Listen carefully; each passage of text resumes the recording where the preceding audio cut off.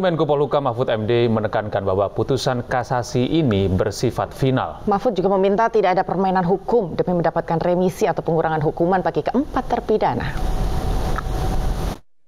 Oleh sebab itu, Mahkamah Agung sudah memutuskan seumpama negara boleh melakukan upaya hukum itu ya kita lakukan.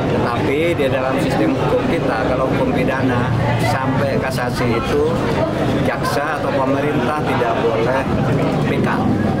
Yang boleh PK itu hanya terpidana. Kalau jaksa tidak boleh, sebab itu ya mari kita jaga keputusan ini agar tetap ditegakkan dan mudah-mudahan tidak ada kong kali kong permainan lagi nanti di PK lalu diturunkan lagi sehingga lalu diremisi remisi remisi dan sebagainya saja terjadi. Menurut saya seluruh pertimbangan sudah lengkap dan kasasi itu ada final.